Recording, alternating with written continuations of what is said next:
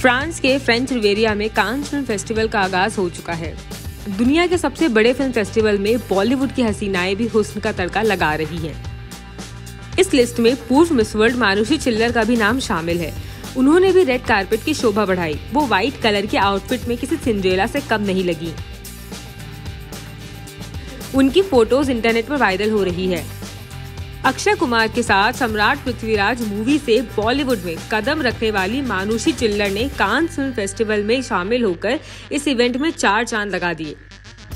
उन्होंने फोवरी के white colour के गाउन के साथ नेक पीस पहना और मिनिमल मेकअप में नज़र आई। रेड कारपेट पर उनका कॉन्फिडेंस देखने लायक था। वहीं कांस के दूसरे दिन Manushi black off shoulder gown में नज़र आई। उनका ये लुक पहले वाले लुक से भी ज़्यादा पसंद किया जा रहा है। इस लुक को और इन्हांस करने के लिए मानुषी ने सिल्वर शूज़ और सटल मेकअप किया है। वही ओपन हेयर में मानुषी का लुक देखने लायक है। आपको मानुषी का कांस का कौन सा लुक सबसे ज़्यादा पसंद आया, हमें बताना ना भूले। For more such content do like subscribe and comment to our channel